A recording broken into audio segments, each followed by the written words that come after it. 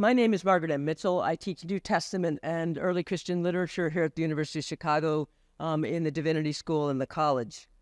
It's truly an honor for me to participate, even in a small way, in this conference, recognizing the immense achievements and stature of Buzzy Fishbane. I have the deepest possible admiration for my colleague of yea, these 25 years, for his immense erudition, breadth of expertise, powers of conversation, hermeneutical sophistication, and humanity. I also share with Buzzy an endless fascination with the hermeneutical variability of scriptural texts. The second set of papers in the session this morning is dedicated to rabbinic hermeneutics. We have two papers by Professor Natalie Dohrmann and by Professor Joanna Weinberg. Um, uh, the, and the first will be by Professor Dohrmann, and then we will follow the same format as the last session uh, with uh, questions after uh, both uh, lectures. So it's a pleasure to introduce and welcome back to Swift Hall Natalie Dohrmann. Natalie Dohrmann is Associate Director of the Herbert D. Katz Center for Advanced Judaic Studies at the University of Pennsylvania and Adjunct Associate Professor in the Department of Religious Study in the Department of Religious Studies, as well as being a faculty member in Jewish Studies program, a member of the graduate groups of the Department of Near Eastern Languages and Civilizations, and the Department um, of Religious Studies at the University of Pennsylvania. Professor Dohrmann is a specialist on Jewish and Roman law in the imperial period and late antiquity. She is co editor and contributor to five signally important volumes. I'll name just a few. In 2013, Jews, Christians, and the Roman Empire The Poetics of Power in Late Antiquity with Annette Yoshiko Reed.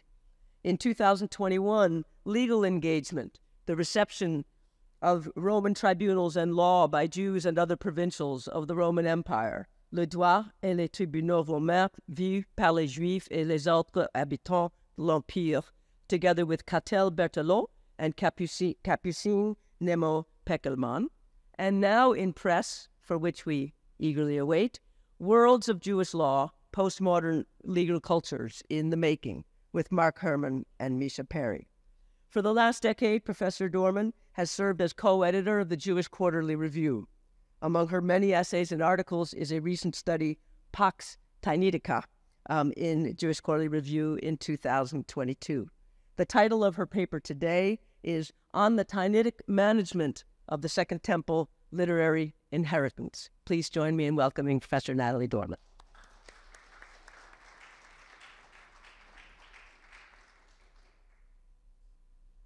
Thank you very much for the introduction. I appreciate it very much. And thanks to Sam uh, for inviting me here. Thanks to the Divinity School and the Jewish Studies program for putting on this conference um, to honor my great teacher.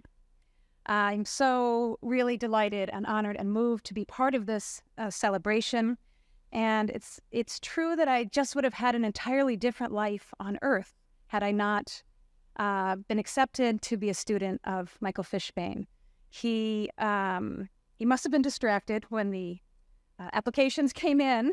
Uh, but in taking me on, he not only opened my eyes to an entire world of texts, taught me to appreciate them uh, with uh, as dynamic, deliberative, and creative acts of making at every turn. Um, every seminar of his, we used to leave as a huddle in a mixture of awe and despair. Awe, like the the constant refrain was, "How did he do that? That that was amazing what just happened in there, and this sense that we could never actually replicate it. So it was um, it was a, a wonderful uh, yin and yang of experience. Um, and to the testaments yesterday of uh, Professor Fishbane's um, personal attention and growth, I will say I had a slightly different. For me, I was terrified of Michael Fishbane. He had such awe and stature. He was intimidating um, and inspiring at the same time. He was a Dr. Vater for me in the old in the old sense of the term, under whom I worked harder and learned more than at any other time in my life. So it's with gratitude that I'm here. Okay.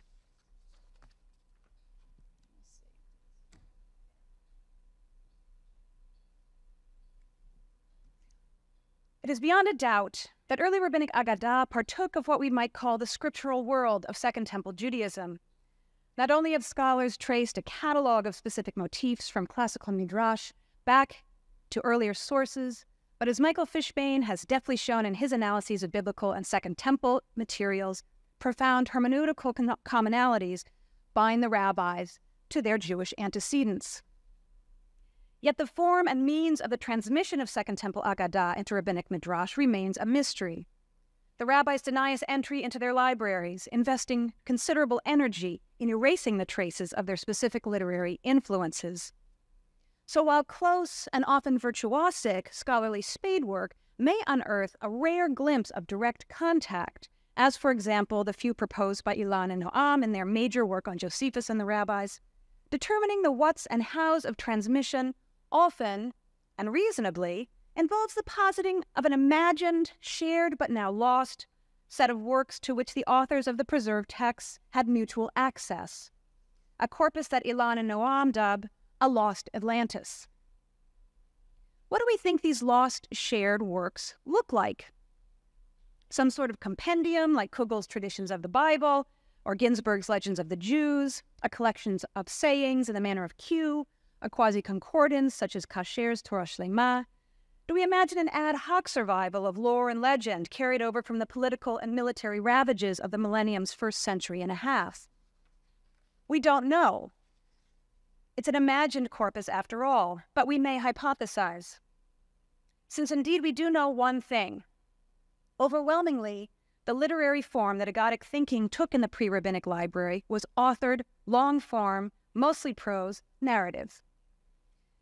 By authored, I mean in broad terms, communicating with a unified and unifying authorial voice, whether named or not. Now, this is true across a range of variables in Hebrew and Aramaic, as well as Greek texts, and describes mutatis mutandis, pseudepigraphy, epitome, novel, historiography, apocalyptic, and pointedly, the text often described as rewritten Bible. Uh, note that I've co opted the word agadah here in this paper to encompass both rabbinic and non rabbinic Jewish texts that directly engage with the non legal but especially narrative portions of Scripture.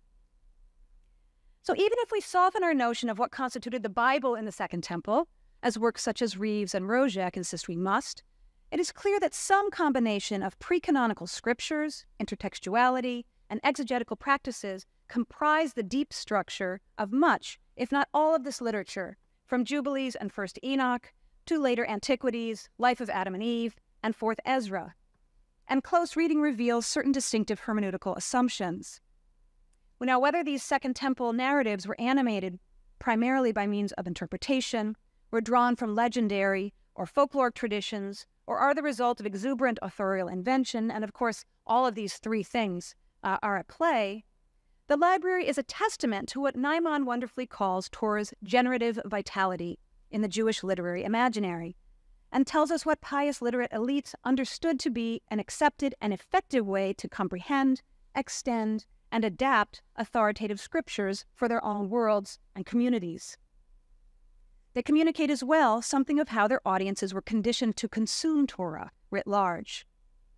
In other words, setting aside any discussion of themes and content, through its commitment to long form narrative writing, what we might term the agadic corpus of the preserved Second Temple Library manifests a scriptural habitus, a way of engaging and thus knowing the Bible, of knowing and thinking biblically. Parabiblical narratives multiply Torah in the world by inhabiting and ventriloquizing it, spinning it into the present mimetically, broadening and interpreting the scriptural base by replicating the Bible's narrative genres and animating its characters as actors and authors. By contrast, Whatever Tana Tannaitic Midrash is, we can say with confidence that it's emphatically not a narrative genre. Narrative, in barest terms, requires consistent characters and a plot that may be arranged in linear time, some conflict or change of state, and I would posit it requires an anchoring author idea. Though not nearly to the extent of the later Amoraic Midrash, Tannaitic Midrash does contain some narrative, of course, but my point is that these storioli never extend over more than a few lines of text. Some of these appear as modular and exemplary genres, such as ma'aseh and mashal. Most are fragmentary and would be incomprehensible if excerpted. Now, narratological tools can and have been fruitfully applied to these to midrashic stories. I think of the great work of our Honoree, of Fraenkel, Levinson, Ofra Meir, Rubenstein, and others. But the regular appearance of the word narrative in the titles of studies of midrash may make opaque what to me is the more important literary headline, namely that in the context of the Jewish parascriptural landscape, the genre of Tannaitic Agadic Midrash is a decided outlier. Not only is it not narrative, but is, by my reading, systematically and intentionally counter narrative. This, on the one hand, seems more than obvious. One doesn't pick up the Sifra and confuse it with an epic poem. But on the other hand, not so much. And as I was writing this talk, I dropped the phrase rabbinic narrative into the search window of academia.edu, and it returned 28,000 hits. Add to this the casual glossing of Agadah by the word narrative, and it becomes clear that the elision of the terms midrash and narrative is an entirely domesticated one in the field. And yet, in short, after more than two or more centuries of the Jewish production of long form author- authored narrative works, works that engage with texts and traditions that make it into the canon, the Tannaim just stop. It's strange. This emerging elite, literate cadre of Torah experts and religious reformers effect a generic reorientation that has drawn my attention for many years. I started to be curious about the non narrative nature of Tannaitic Midrash under Buzzy's tutelage, writing a dissertation tracing it to legal hermeneutical logics and disruptions. In this paper, I'm constructing a different, though related genealogy of the phenomenon, one that situates it in conversation with the rabbi's own literary past. Now, my focus today is uh, inner Jewish, but I will note that the Tannaitic era, read the High Imperial era, produced tons of long form narrative. The rabbis were awash in it, in verse and prose, right? You can go on Virgil, Ovid, Apuleius, the Greek novel, Tacitus, the Gospels, biographies, martyr acts, dialogues, and more. I'd include here significantly the Res Gestae, and note that Augustine's confessions are just over the horizon. Um, this is a related story. Um, I've explored a little elsewhere, but want to do more.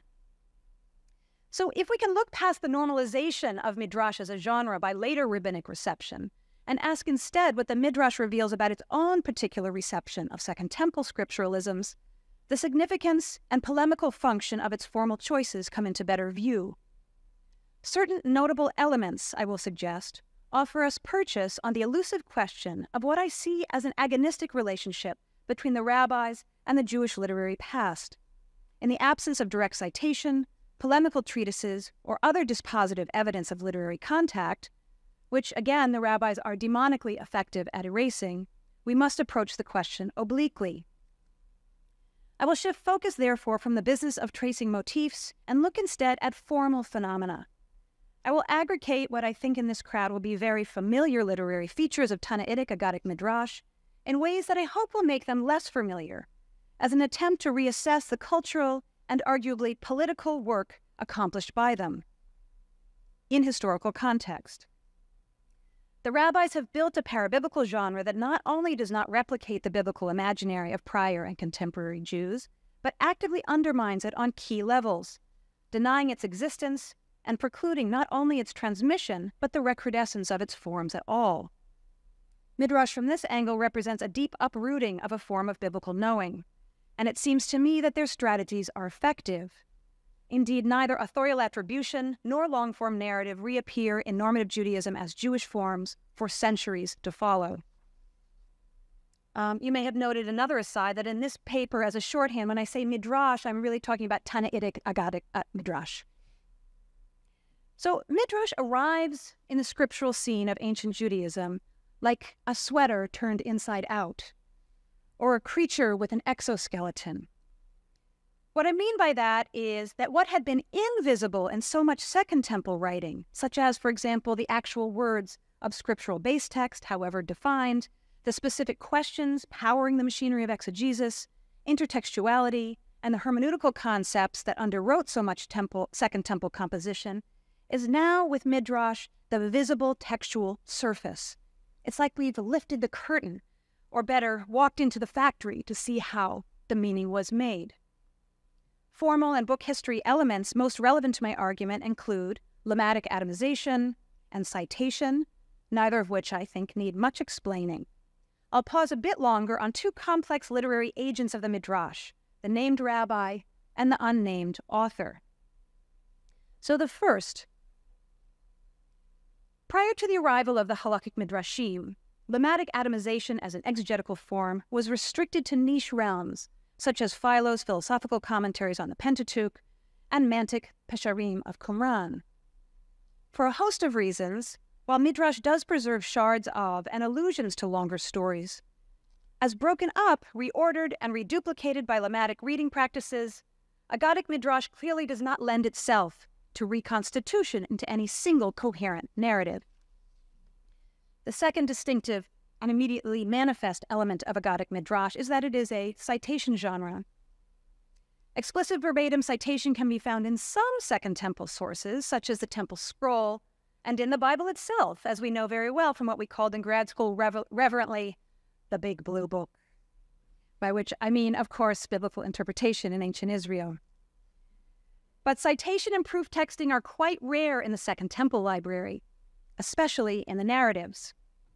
Even so, a powerful bibliocentrism on the part of modern readers tends to make us see it where it is not. I think of the elaborate scholarly apparatus in Charlesworth's two volume Old Testament pseudepigrapha, for example, where the margins are used to link every turn of phrase, every whiff of a notion to a specific biblical verse. When in fact, however, Second Temple Aggadic texts themselves are elusive and paraphrastic, and not citational. Any direct reuse of biblical phrasing that happens to appear is not flagged as such by shifts in language, medium, or introductory formulae. These latter tools are rather Midrash's brick and mortar. Citation is a central epistemological and rhetorical technology of the rabbis. Beyond authorizing, providing evidence for a given interpretation, Proof texting accomplishes many things. Prime among them is canon formation. Early Midrash only cites what it deems to be scripture. No other writings are quoted nor even mentioned, leaving us with a new, clearly demarcated and authorized library. What is not cited is functionally erased. Citation is thus a political, creative, uh, meaning making act, but is also a political and a polemical act. As, as can be gleaned from modern scholarly articles with titles such as Critical Citation as an Anti Colonial Practice or Citational Practices as a Site of Resistance and Decolonizing Attribution, Traditions, and Exclusions, citation may serve, on the one hand, to gatekeep and, not, and it may disrupt the status quo on the other. The Tannaim are doing both. Their citation practices wrap dramatic innovation in the conservative clothing of commentary. Canonical boundaries are further reinforced through proof texting habits that subordinate the individual book to the canonical whole. Sifrei Devarim, Sifrei De- Deuteronomy, for example, is typical in being a lemmatic commentary on only some parts of the book of Deuteronomy, yet it nonetheless cites verses from almost every other part of Scripture. Fixing preferred wording, knitting the canon to itself exegetically, and in so doing, it argues implicitly that Deuteronomy as a book is not a necessary unit of analysis, while the canonical whole is. Beyond the book, the relentless midrashic disassembly of the surface of the biblical story into fragments further disrupts the narrative context and logics of both source and proof text. And overall, proof texts are most commonly collocated to identify a sacred pattern or norms, both atemporal modes of ordering knowledge, and thus often systematically overwhelm temporal narrative linearity. So I will spend the rest of my talk uh, on the last two elements identified above the named rabbi and the question of the author. These two are, ideas are entangled, but they are not co equal. Narratives are held together by an author idea, the illusion of a singular voice, a creator who guarantees a narrative's contents, contains its meaning, and bears witness to its reliability and significance. In this sense, coherent narratives presume authors, whether they are named or not. I will describe just how, in literary terms, Midrash dissolves author function so understood, and along with it, the narrative as a defining parabiblical genre. The third facet, then, of Midrashic inside outness is the appearance of the named rabbi. Many, many dozens are named across the Tannaitic corpus. But where did they come from? What are they doing here?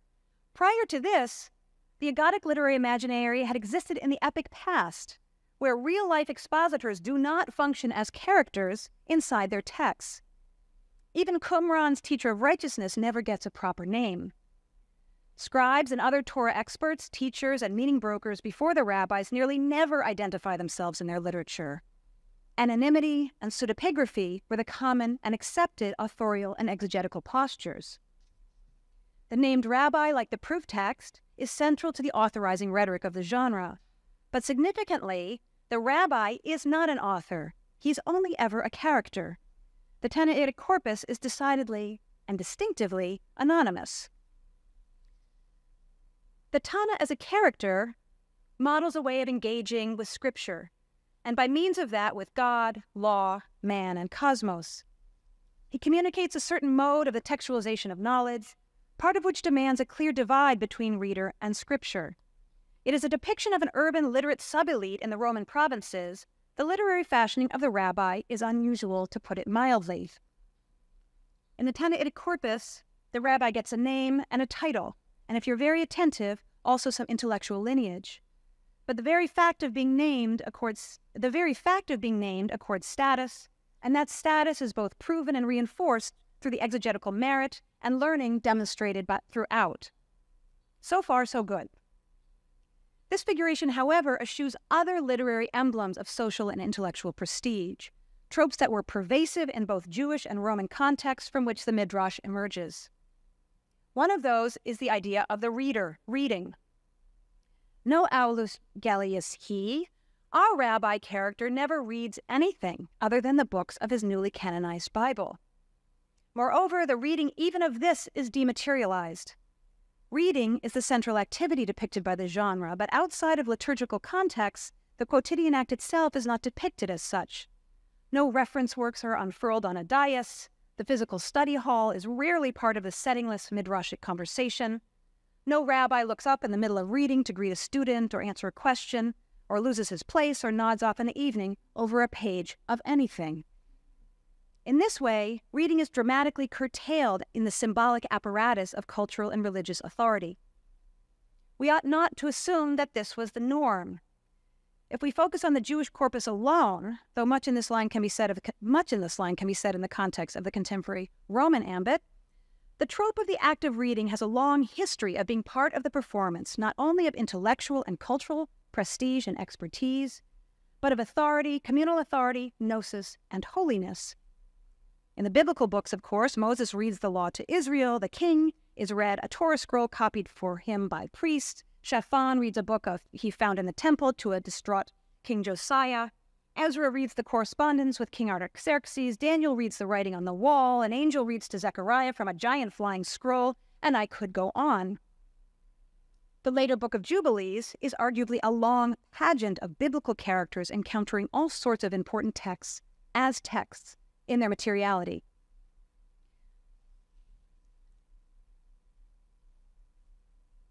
A second element I want to underscore is writing. In the same vein, writing is not dramatized in the Midrash. Rabbis speak, they do not inscribe. Again, nothing new to anyone here. They're not scribes.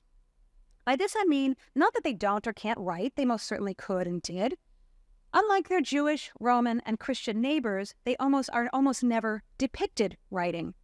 They are not shown composing letters or sitting at a desk recording the day's proceedings or their opinions on the law, and they certainly do not transcribe revealed words dictated from on high or any other source. The sources clearly do not wish to affiliate the rabbi with the scribal elite, so utterly central to Second Temple scripturalism and to scribal conceptions of access to the divine. In both their ideal economy of memorization and as a trope, writing is excised from their arsenal of authorizing symbols. Now, speaking of scribes, we as scholars know that most of the Second Temple Library and Biblical Library is aggregate, composed in layers. The author of Deuteronomy and Daniel and First Enoch were not solitary geniuses. We know this. But the author of those texts was a school or a class of authors and redactors developing a text over time. And yet these texts cohere through the centripetal force of narrative framing and the, and the conventions of a unified voice. Of Midrash, by contrast, Jaffee writes of collective authorship, not as a fact of Midrash necessarily, but it, as an intended rhetorical effect. And this, I suggest, is yet another literary aspect of Midrash that is an element of its exoskeleton. It dramatizes the many hands that go into the production of any literary work and asserts it as the norm, thus destabilizing any fiction of, of uh, any authorial unified unified authorial fictions. Though the Tannaitic corpus is anonymous as any of the parabiblical literature that preceded it, it has altered the author function typical of sources dealing with biblical narratives. Midrash transforms even the most compelling stories from the biblical epic into resonant fragments. In this, Midrash resembles known ancient Near Eastern mantic, sapiential, and contemporary legal genres that are not, as Gabbay says of Mesopotamian commentaries, exegetical treatises written by a master scholar presenting his own ideas. Rather, they stand somewhere in the middle between communal and individual, uniform and dynamic. Indeed, such compositional habits are clearly reflected by the Tannaim but their familiarity from other contexts may mask the reorientation this importation affects on narrative in particular in their, in their own time. A third element of the rabbi I want to underscore is biography. The other meaningfully not there element of rabbinic character portrayal that set it apart from the authorizing conventions around them. The rabbis are named in the Agadic, the, the rabbis named in the Agadic Midrash are no doubt the rock stars of their generations, Yet the Akiba and Ishmael of the Mechilta, for example, are not deployed as well rounded personages. Biographical details are achingly few, and any that sneak in are ad hoc. We will not be told the year of their birth, nor where they prepped, their, if they are funny or fat, what their houses look like, or how many children and slaves they had, or if they prefer fancy sandals. We will certainly not be told what they have read. Eschewing what must be seen as the widespread biographical habit around them, no Tanna inspires a Philostratus or Diogenes Laertius, a Testament, or a Matthew or a Eusebius to lionize him as a sage, teacher, and paragon. And if some rabbi did inspire his own Plato to write about his life, that work never made it into print. Goldhill on this topic notes how midrashic knowledge is never cataloged by teacher. No one collects and publishes the dicta or the pious acts of Rabbi Plony. It follows, he notes, that absent biography, we cannot get a robust, robust hagiography, and this must be by design. An exceptional personage may emerge from the materials as a stand in for an interpretive school or a theological tendency, right? One thinks of Hillel or Ishmael, but he is not depicted as anchoring a cult of personality, and this whether he did so or not. And I bet some of them did.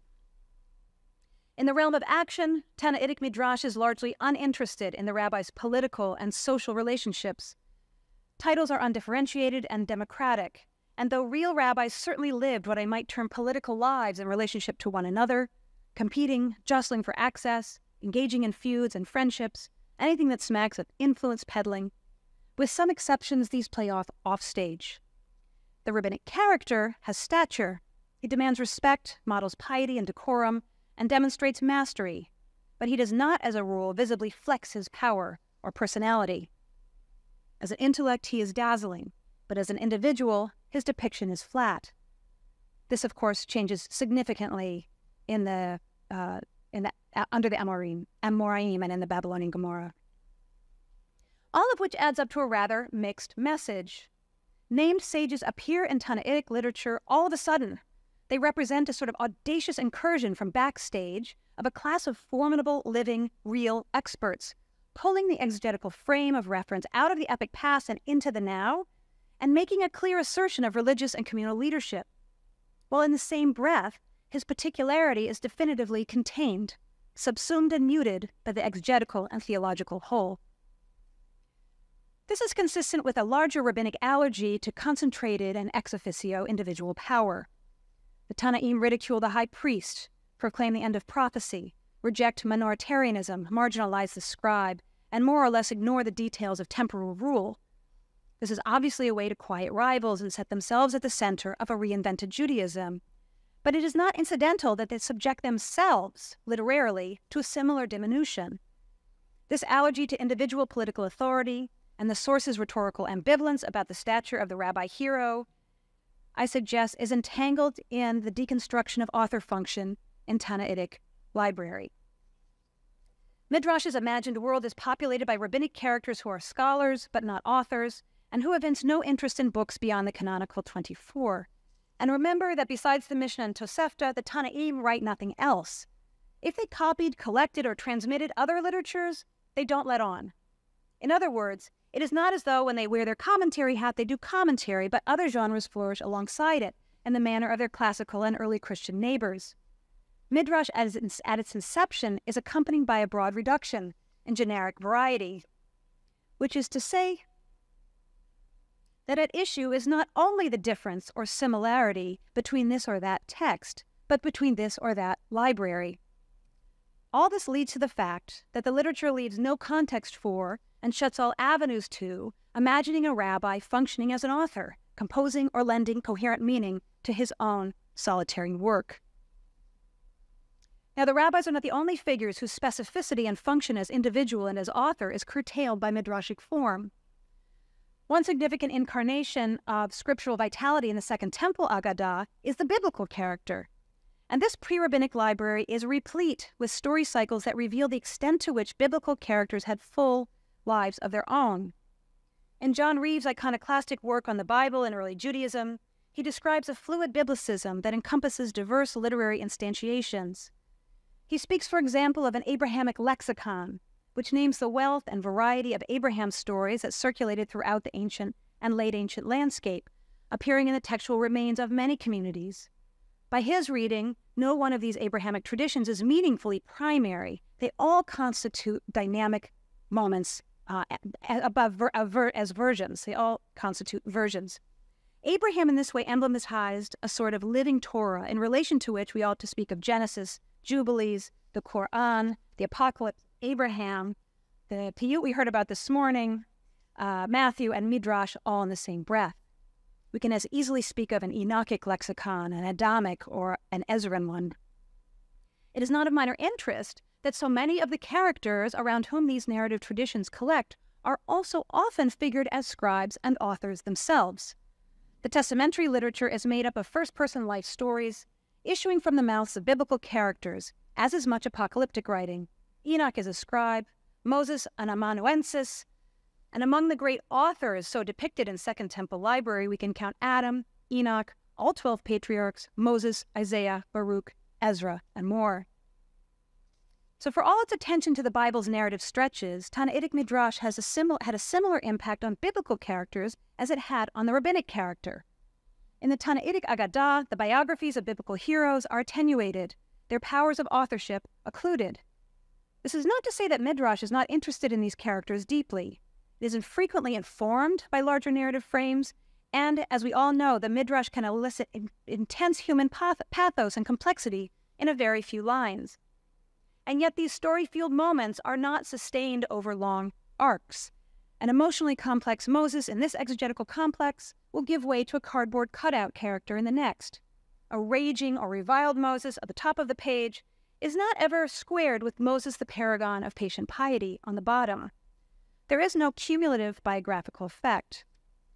To pick up on uh, a metaphor this morning, Midrash reading practices generate tesserae without mortar. What this means, among other things, is that the great figures of the biblical narrative are, once filtered through Midrash, in no danger of emerging from the page into authorial autonomy. Thus, not only are books about or attributed to biblical characters purged from rabbinic memory, but for the most potently autonomous biblical characters themselves from the Jewish past, and one must presume from the living Torah horizon of the rabbis themselves, these characters are broken up by Tannaitic Agadah and worked back into the text. Midrash thus disperses these figures exegetically, with the result that they lose the potency they could potentially marshal as the unmediated protagonists and authors of long form narrative. Midrashic form prevents Adam and Abraham and Enoch from ever again developing a life and literature of their own, especially one capable of being confused with Scripture. We should not therefore be surprised, then, that the rabbis have a complicated relationship to the ultimate biblical author, Moses himself. Well, God, but let's stick with Moses.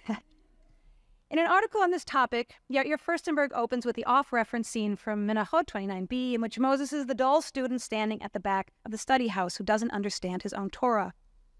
Furstenberg then reads a set of Tannaitic Agadot to show, and I quote, the direct refutation of Moses the author, whose authority as the most wise or knowledgeable is undermined, and who instead becomes the ignorant messenger of the truth. Current interpreters, in contrast, are presented as possessing direct access to knowledge through their sophisticated exegetical methods. And here we have arrived at the house of Bazig. At some point in the second century, a new form of agadic engagement with the biblical narratives emerges which appears to turn the process of parascriptural creation inside out, revealing the chaotic, dynamic work of meaning making. The previously invisible exegetical labor of lemmatic reading, collective authorship, and intertextuality are all made plain to see. The raw materials of the process of scriptural thinking are here disassembled. The working of the hermeneutical mind is made visible. By means of its historically and contextually discordant literary choices, Midrash signals its resistance to narrative it keeps us inside the factory, to hew stubbornly to my original metaphor, and the factory never issues a finished product, a grand, memorable monovocal tale, some epic that stars the rabbis, for example, with a clean beginning and ending, a literary artifact that could render the machinery and manpower of its production invisible or even irrelevant. Moreover, by cutting off other means of production, this process prevents their future manufacture. In this way, the work of interpretation is presented as both means and end. If we need to speak of one literary product issuing from the factory, it's Scripture itself, redefined. Halbertal says of the Tanakh that a severe form of censorship is concomitant to the act of sealing. Tannaitic discursive forms are vital a- active agents in this operation. Indeed, Midrash's caesura in literary form aligns with the canonical watershed, reflecting an epistemic realignment with theological, political, and social consequences.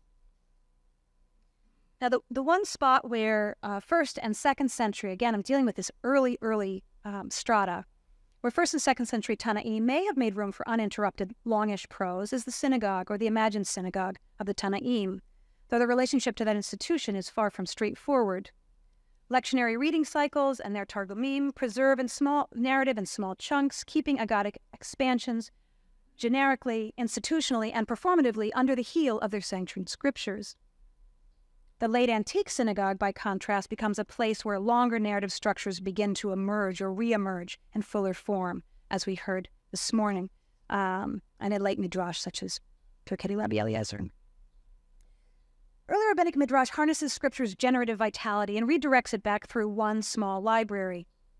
Authorship is not exactly eschewed, but is fitfully reimagined as part of the construction of a new way of knowing scripturally, one in which both the storytelling impulse and the narrative inheritance are transformed into a collection of disparate threads woven repeatedly back into the warp and woof of the biblical surface. I've chosen to focus today on the fate of Second Temple narrative writing in the context of emergent rabbinism. I want to note that narrative is just one piece of the complex literary polysystem in which the Tannaitic Midrash participates nor have I asked the whence or the why of Tannaitic Midrashic literary innovation.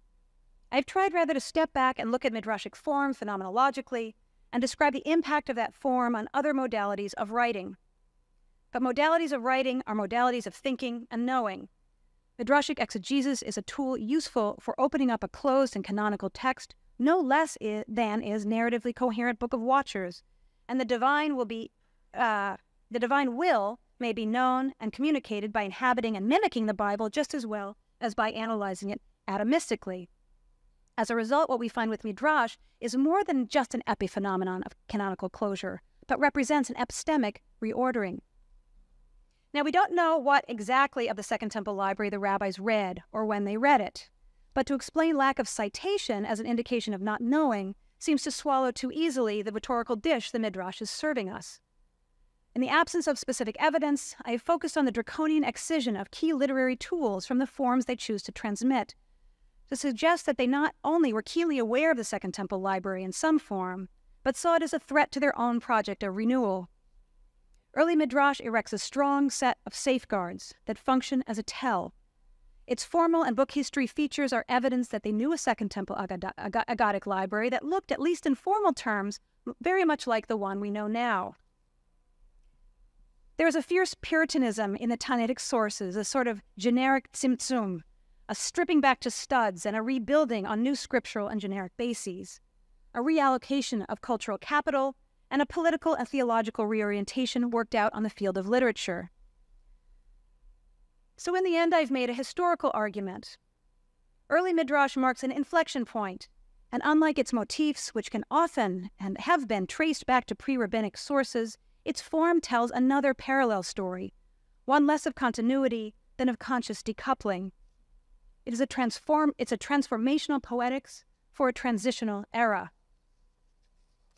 If you followed me this far, the next question must be why? What was gained by removing both narrative and a strong author idea from the rabbinic cultural arsenal, and what was lost? For a small movement at its very start, narrative and author figures would have offered extremely powerful and useful community building tools. Apparently, the dispatching of both was a necessary and useful sacrifice. But on this question, I am delighted to say I'm out of time. Thank you for listening.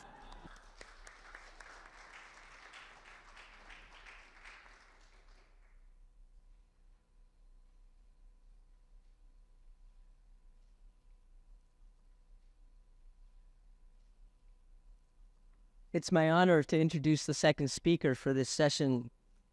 Joanna Weinberg is Professor Emerita in Early Modern Jewish History and Rabbinics at the University of Oxford, where she taught rabbinic literature and medieval and Jewish literature and history.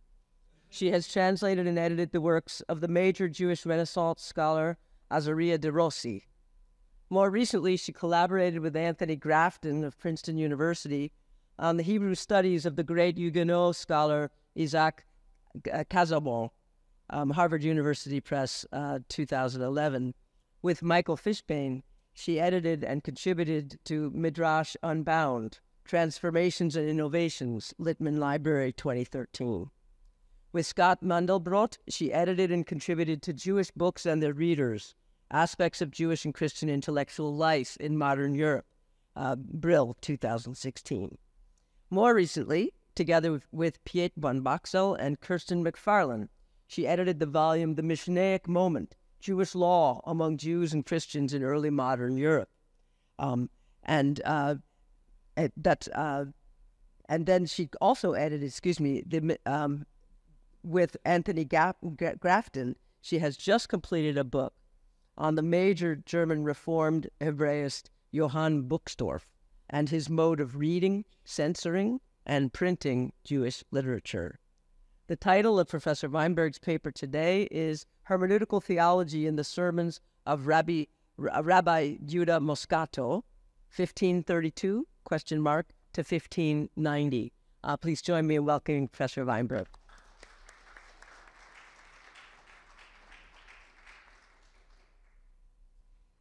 Well, thank you very much. It's such an honor and privilege to be here, to be participating in this beautiful event in honor of our friend Bazi. Um, I'm really overwhelmed by all the tributes I heard yesterday and today, um, and feel, yeah, very honored to be part of it. Let me just add one anecdote of my own. Um, it was in 2004 that I decided, in my wisdom, to have the first conference on Midrash in Oxford. And in my wisdom as well, I decided that there was only one person that I should have as my uh, keynote lecturer, and that was Michael Fishbane. And I don't know what got into me, but I just took up the phone, and, and now I don't know how I got your phone number. And I just rang you, and I said, Would you do? And instead of getting just a yes, no, or perhaps, I got this amazing response. Lots of questions, uh, talking about concepts, ideas. And that clinched it.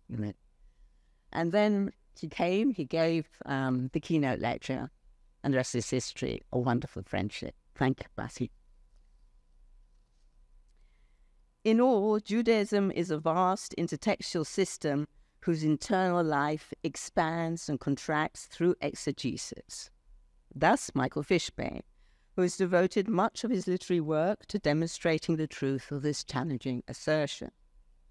Throughout his writings, he has shown us that critical reading of sacred texts requires acknowledgments of the various hermeneutical levels that lie embedded within them.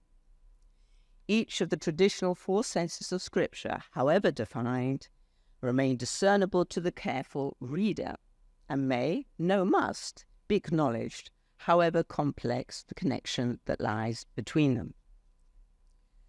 The hermeneutical task that Fishbane sets before the reader of religious texts is more than apparent in the highly polished and intricately woven sermons of Judah Moscato, the Italian rabbi who spent most of his life in Mantua in northern Italy in the intellectually vibrant company uh, of a small elite Jewish scholars such as David Provenzali, Azaria de Rossi, and Abraham Portaleone. This small but active Jewish intellectual elite acquired proficiency in a wide range of subjects which, strictly speaking, lay outside the conventional rabbinic curriculum. In very different ways, they all absorbed the cultural renaissance at their doorstep. Tullio or Cicero, no less than Aristotle, Ibn Rushd, Marsilio Ficino, and Pico della Mirandola are but a few of the sources that demanded their attention in their individual and collective Batei Midrash. All these writers, as we will see, were attracted to the Platonic Philo of Alexandria, though there was no unanimity as to the identity of the ancient philosopher and exegete. Indeed, Philo's so called rabbinic credentials became a mighty bone of contention among these extraordinary scholars. The preeminent exegete and rhetorician in Mantua was most certainly Judah Moscato. His volume of 52 sermons that he himself collected and compiled into their literary form, the Nefuzot Yehuda, the Dispersed of Judah, was published in Venice in 1589. Though the sermons were delivered for a variety of occasions and in different contexts, Moscato himself imposed a unity on the disparate homilies by means of a paratext, a prefatory poem linking and, con- and enumerating all the sermons, Moscato deliberately set out to convey to the readers the sense of the journey, complete with signposts on which they were about to embark. Beginning with song, Ashir Adonai, or Sing to the Lord, that's the sermon about divine music, and ending B'Shalom, in peace. This introductory text, which has all the semblance of a rhetorical ploy, is actually an exhortation, or rather a proclamation about the spiritual voyage that awaits the conscientious reader. Moscato possessed a thorough knowledge of the classical corpus of Midrashim, and often selected one specific text, called in, in the technical language the Ma'amar, which would be subjected to intense analysis and developed into his own rhetorical and exegetical scheme. He did not shy away from the questions that naturally arise on reading Midrash. His hermeneutical tactic was to enlist philosophical, rhetorical, Kabbalistic, or literary concepts that might pro- proffer an explanation or help to account for the darshan's multi layered discourse. Intrinsic, intrinsic to this undertaking is that rhetorical or philosophical truths lie embedded in the rabbinic agadot. Once identified, the key or keys to the homily or tale become apparent and their spiritual me- message recognized. Like his companions in the Mantuan yeshiva, Moscato indulged in the fashionable etymologizing that allowed for free cross linguistic borrowing, usually involve, involving Greek and Hebrew. The procedure, as Glenn Most has demonstrated so beautifully, was to take a word that had a well defined denotation, and I quote, by various techniques of decomposition and recomposition, transcoded it and allowed a new coherent system of intelligible and interconnected meanings. It is in this manner that Moscato could go as far as to suggest the somewhat surprising etymology that the Greek word idea, especially in its Platonic sense, was equivalent to the Hebrew word yedia, knowledge. This particular etymology came into play in the seventh sermon entitled The Power of the Torah in the Creation of the World. Moscato began his sermon with a citation of the first and often cited Beticha of Bereshit Rabbah on the creation of the world. Though familiar, we need to read it again in order to comprehend Moscato's purpose. Rabbi Hoshaya began his homily then I was beside him like an Ammon, and I was his delight. Proverbs 8.30. Ammon means tutor, pedagogue. Ammon means covered. Ammon means hidden. And some say Ammon means great. Ammon is tutor, as it says in Numbers 11.12, as an omen, as a nurse carries a suckling child. Ammon means covered, as it says in Lamentations 4.5. They were clad. her Ha'emunim is scarlet. Amon means hidden, as it says in Esther 2 7, and he concealed Hadassah. Amon means great, as it says in Nahum 3 8. Are you better than No Amon, which is rendered in Targum? Are you better than Alexandria the Great, that is situated on the rivers? Another explana- explanation Ammon is artisan. The Torah says, I was the working tool of the Holy One, blessed be He. It is the way of the world that when a human king builds a palace, he does not build it according to his own idea. Rather, he uses the knowledge of an architect, Omen, who does not build it according to his own idea, but uses plans and diagrams, or rather parchments and wax tablets, as as, as uh, Moscato himself understood it, so as to know how to arrange the rooms and the wicket doors. Similarly, as the Holy One, blessed be He, looked at the Torah and created the world, then the Torah said, by means of the beginning, Bereshit, God created. The only beginning, Reshit, is Torah, as it says, the Lord made me at the beginning, Reshit of his way. Proverbs 8 22.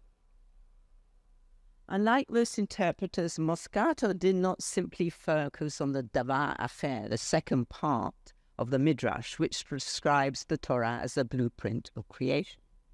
Rather, he gave full attention to all elements in the text, both combining and separating different sections and explanations.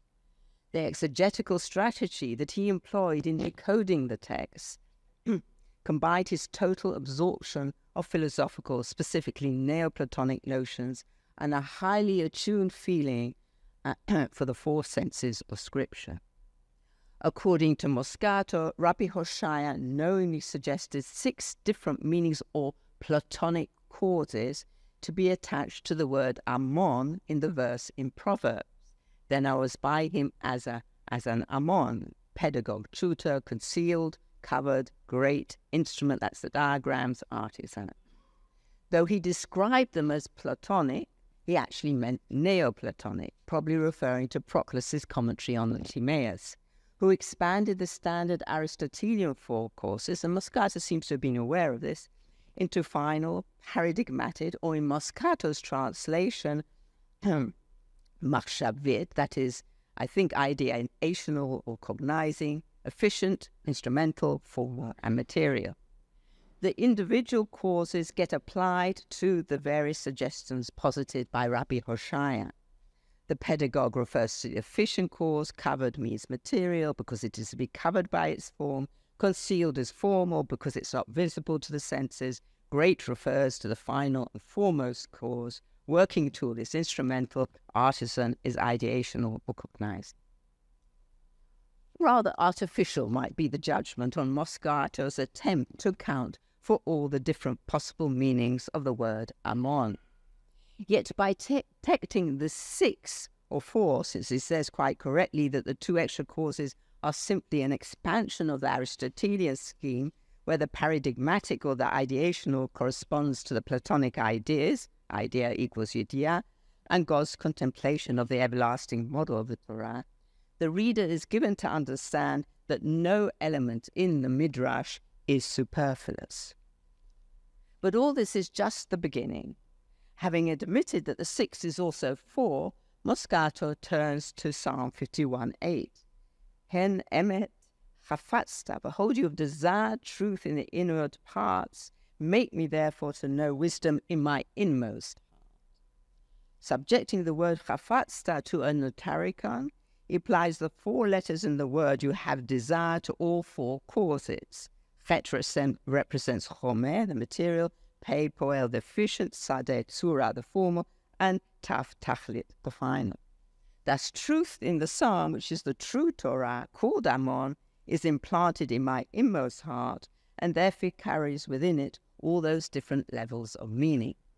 The desire for Torah is, in fact, the desire for apprehension and therefore the need to expound Torah according to the four senses of Scripture.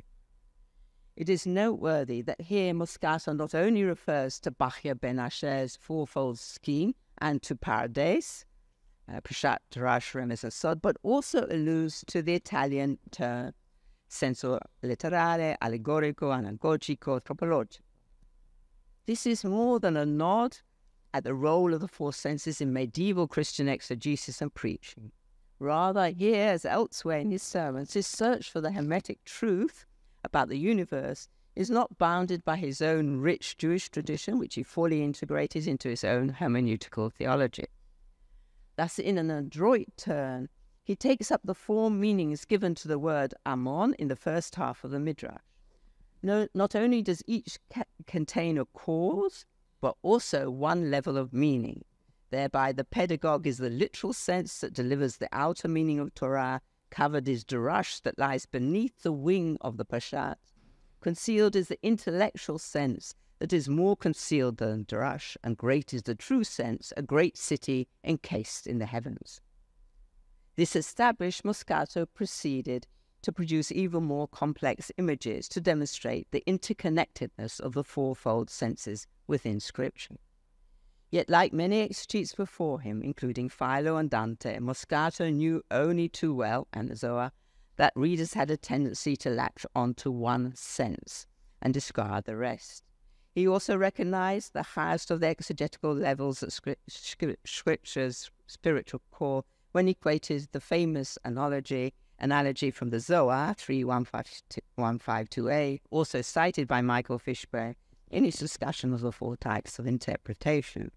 Peshat is the outer garment of Scripture, its narratives. Drash is its theologies and laws.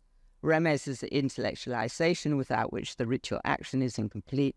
As Sod is the soul of the soul of Torah. Ultimately, the sermon comes to an end with an inspiring mini midrash on Ezekiel 47:12, according to the outlined principles of interpretation. Now, in the summary heading of this sermon, Moscato had announced his use of the six Platonic, read Neoplatonic causes, combined with an explication of the four all inclusive kinds of interpretation by which the divine Torah is to be expounded. This openly syncretic approach to his hermeneutic task is adopted throughout the sermons and also in his other important uh, publication, the Kol Yehuda commentary on the Kuzari, Judah Halevi's Kuzari. Though certainly Moscato had a proclivity for Neoplatonic ideas, he was also thoroughly schooled in the art of rhetoric and dialectic, as Altmann noted so many years ago. But it should be emphasized that Moscato's attraction to rhetoric and dialectic was not purely academic. Rather like the dialecticians of his age, Moscato set out to teach by means of these disciplines. He had thoroughly scanned Rudolf Agricola's, it was 1444 to 1485, monumental and highly influential uh, De Inventione Dialectica, for whom dialectic was an art and by definition contained a body of precepts useful for life, guiding students to intellectual and moral maturity. Moscato's elegant and in- intricate prose should not deceive. This was not simply art for art's sake. His theoretical commitment to eloquence was based on the intention to generate meaningful and significant interpretation of sacred texts. The perfect order of Torah followed the prescriptions of Cicero, Galen, and above all Agricola. This he demonstrated in his fifth sermon. But the extent to which Moscato enacted his pedagogical goals by following the most fashionable and authoritative masters is strikingly on show in Sermon 11, an elucidation of the short but somewhat obscure Psalm 15. Oh, something missing. Um, Oh, that's really pity. The text of the psalm I had um, is Psalm 15. I'll, I'll read out the English translation, but you must pay attention very carefully. It was supposed to be on the PowerPoint. A psalm of David Lord, who shall sojourn in your tabernacle? Who shall dwell upon your holy mountain? He that walks uprightly and works righteousness and speaks truth in his heart, that has no slander upon his tongue, nor does evil to his fellow, nor takes up a reproach against his neighbor, in whose eyes a vile person is despised, but he honors them that fear the Lord, he that swears to his own hurt and changes not. He that puts not out his money on interest, nor takes a bribe against the innocent. He that does these things shall never be moved. Hope you can remember all five verses. Now, time is pressing, but I'll try to encapsulate some of the main lines of Moscato's exegesis, which was partly inspired by the Talmudic passage in Makot 24a, I think, in which is suggested that Psalm 15 is a Davidic reduction of the Tariag uh, 613 precepts to 11 actions. The opening verse, according to Moscato's imp- interpretation, alluding to the world of temporary sojourning and to the eternal dwelling in the world to come, serves as a poem to the following four verses. A threefold structure is detected throughout and is already displayed in verse 2. That is, three relationships that govern a person's existence between God and a person, between person and person, between a person and him herself. Moscato's analysis of the various elements in the psalm are transferred onto a diagram or chart. Uh, I have to say that this is the first time, as far as I know, in the printing of Hebrew texts where you have a diagram used for exegesis. It is really the first time. Um, Moscato is seen here instructing his congregants, or more likely, his students or colleagues. His interpretation of the psalm is organized here in one single diagram, with verse 1, the proposition, one might say, there on the right, uh, which gets divided into the three relations that are then siphoned off off into Moscato's particular elucidation of the separate elements in the psalm. Verse 4 guides a human in his relationship with God who must think with God and reject unbelievers, but honor those who fear God, and to keep any oath, however detrimental it may ultimately transpire to be. Interpersonally, according to Moscato, not doing evil to another person actually means going as far as not to retaliate even if one has sustained damage. Nor should one take interest from another person, even if needed. And he adds, with an allusion to Makot 24a, not even from a Gentile, since interest bite will eventually burst and unwittingly scored.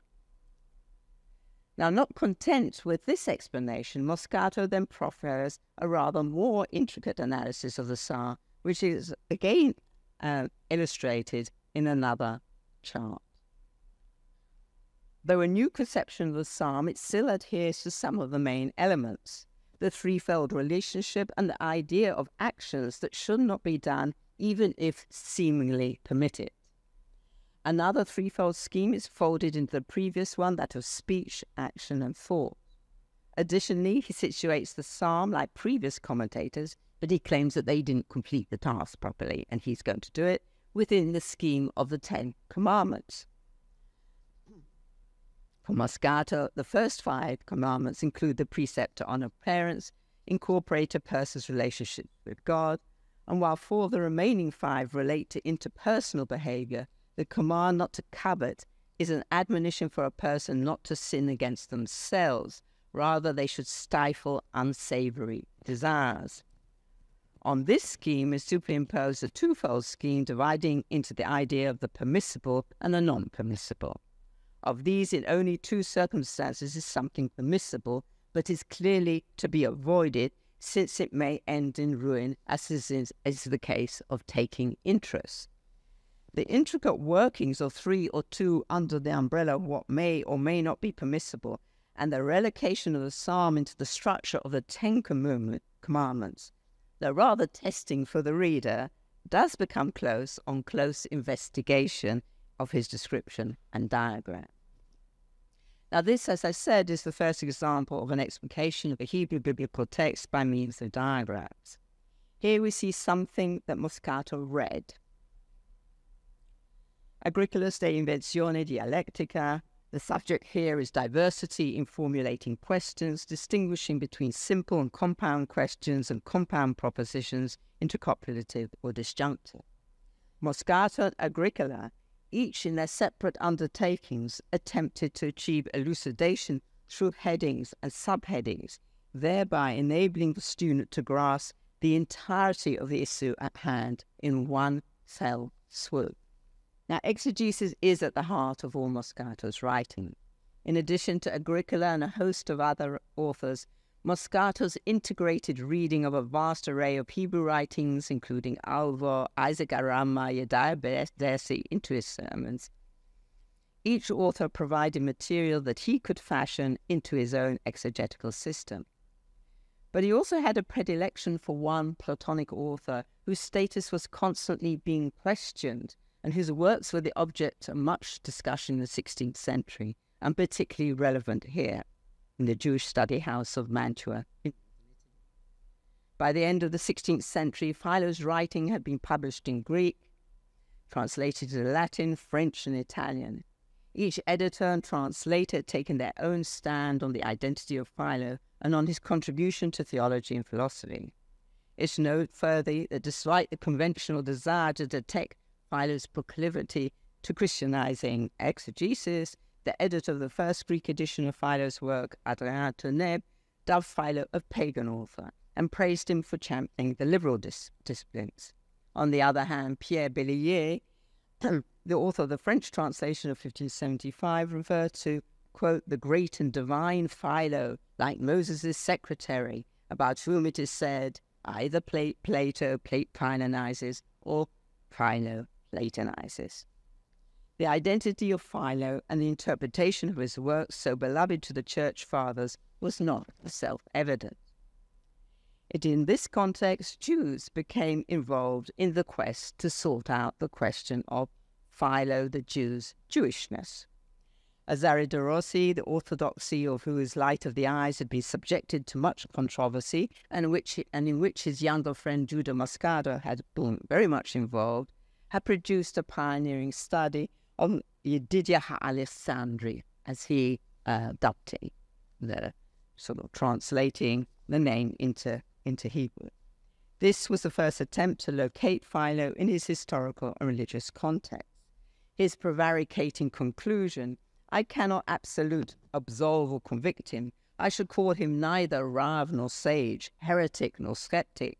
My only name for him shall be Yedidia the Alexandrian. This statement didn't meet with approval from some of his Jewish colleagues. David Provenzali responded with a long critique.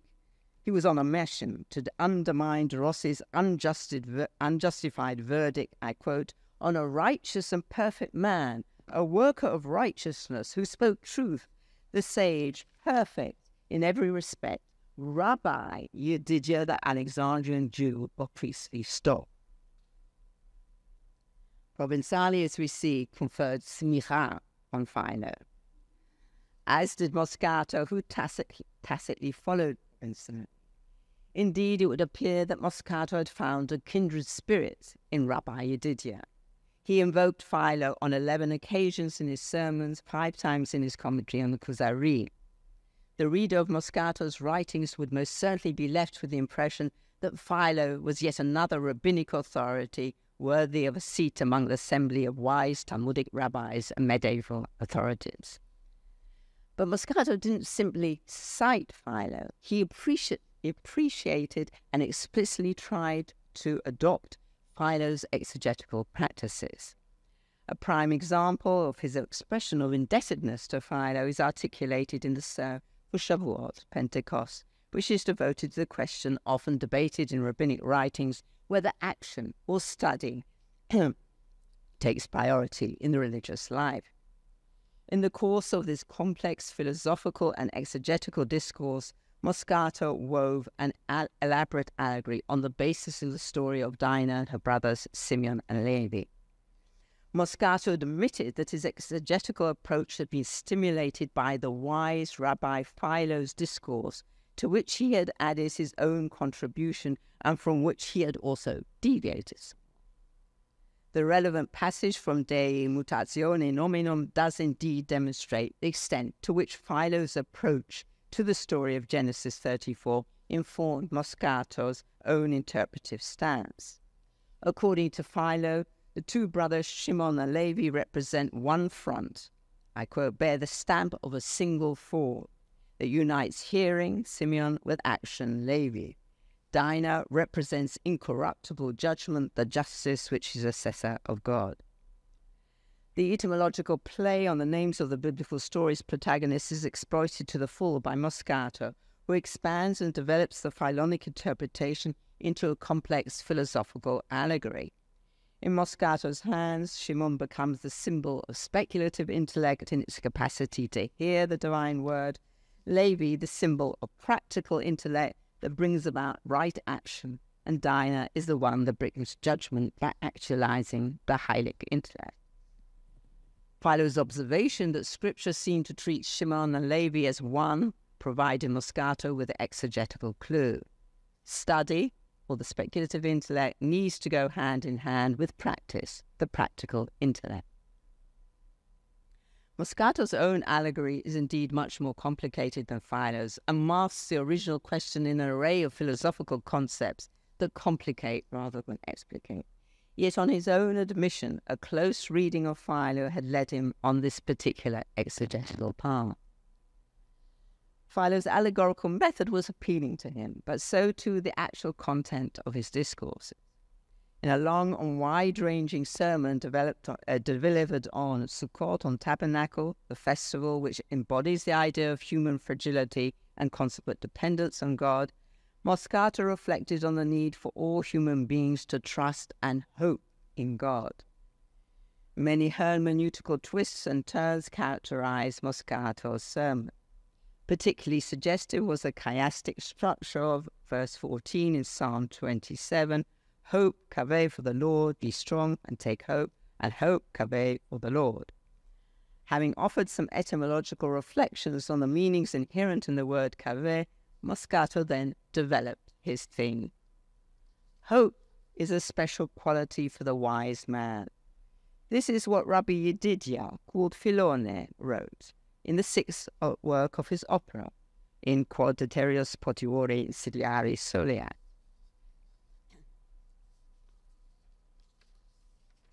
There he says that it is a special quality of the wise person to hope for the acquisition of good from the gracious, true, blessed God. He further says that Scripture alludes to this idea when it says, And to Seth a son was born, and he called him Enoch. Then there was a beginning, Ucha, on calling on the name of God, Genesis 4.26. Did then, this is the book of the generations of Adam, Genesis 5.1. According to Philo, I'm still quoting Moscato, Huchal is related to the idea of hope, Tochelet, such that the verse reads, and then there was a beginning of hoping in the blessed God. This is why the statement is immediately followed by the words, This is the book of the generations of Adam. It signifies that the person who does not possess the quality of hope does not deserve to be called Adam, for such is the way he should be defined. And that sage, i.e., Philo, interprets the word enosh in relation to the word tochelet, hope. I don't know the sources for his etymology. However, this feature of the language must have been common knowledge for them, as exemplified in the verse in Jeremiah 17:16, "Neither have I desired the woeful anush day," or in the day of grief and of desperate pain, anush, Isaiah 17:11. All these expressions are contrary to the idea of hope, signifying I've endured the day with its pain and despair without hope for goodness and well being. Now, to admit that Philo got his etymologies a little confused was apparently not acceptable to Moscato. I spoke about his own rather fanciful etymologies. Instead, he defended Philo's bizarre etymology by reinforcing the idea of enantiosemy, to odad, as it was known in medieval Arabic and Hebrew grammars, namely that opposite meanings or connotations belong to one and the same word. Thus, according to Moscato's interpretation, Philo was privy to a linguistic tradition that transmitted the innate nature of the Hebrew language. Hoping God began with Enosh, that is man, Adam, and the following verse, this is the history of man, Adam, encapsulated this definition of the true man. Now, Philo's insight into this matter was for Moscato as previous, as precious as those of the rabbis and Kabbalists, whom he cites on the same topic. In fact, here as in other of his citations of Philo, it is clear that he perceived the Philonic thread that ran through Jewish traditions and gave it prominence amidst the rich tapestries of his own spiritual reflections and exaltations. Harry Austryn Wolfson, the doyen of Jewish philosophy, would have been greatly satisfied. After all, according to Wolfson, it was the radical innovations of Philo that had set the scene for the long history of religious philosophy.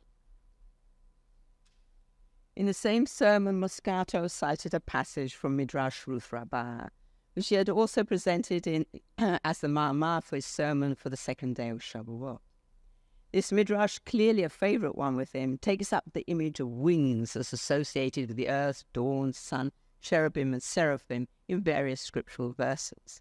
The midrash then reaches the grand finale. Great is the power of those who toil in Torah. In whose shadow do they find shelter? In the shadow of the one at whose word the world was created, as is said, How precious is your loving kindness, O God! Human beings find shelter in the shadow of your wings. Psalm 36a. The subject of the sermon is Torah and discusses relation to intellect and to conduct. More precisely, all elements in the Midrash are said to represent different philosophical concepts. The earth stands for matter, the dawn, the imaginative faculty, the sun, the rational faculty, the cherubim relate to the two faculties of intellectual apprehension, while the seraphim signify the intellect acquire true apprehension of the intelligibles. The culmination of the passage with its reference to God signify that only those who fly with the intellection of God's Torah will ascend to the heavenly pinnacle of intellectual knowledge and good ethical traits. Again, the disquisition is long and complex. Suffice to say that the striking image of the wind enacted in this midrash is transformed into a philosophical disquisition that aims to discount the mere natural elements. Yet even here, Moscato brings together Plato and the sages when he states, it was common for the sages to explain wings as components of the rational soul. I seem to remember that Plato was said to describe speculative and practical reason by the term wings of the soul. Here, Moscato has carefully formulated his reference to Plato. It is said of Indeed, this is a reference, it seems to be a reference to the Phaedrus, but not actually to Plato's Phaedrus, but to Marsilio's Ficino's Latin commentary and summary of the Platonic dialogue, the famous Latin, everybody was reading his translations, his Latin translations and summaries of the dialogues reading Proclus and the other Neoplatonic writers, Ficino understood the wings in the myth of the charioteer as a lifting power that are divinely implanted in the intellect and reason. I would claim that Ficino's reading of Phaedrus had more than a passing impact on Moscato. In his capacity as rabbi, preacher, and above all pedagogue, he transposed Ficino's allegorization of the chariot to his wings Rejecting the ultimate benefit of philosophical disciplines, he finally asserted that only God's perfect Torah will enable us to ascend to the heights of heaven and find shelter under his wing. Now, in his authoritative work on the Song of Songs, Michael Fishbane described the philosophical approach to the song, for whom the text I quote is a carefully designed structure of philosophical instruction. The reader is instructed, and the commentator, not solely an exegete, adept, adept or allegorical disclosure, but a philosophical master cultivating his disciples. And I would like to claim that this could said also be said to be true of Moscato as he set out to cultivate his disciples and congregants and Christians.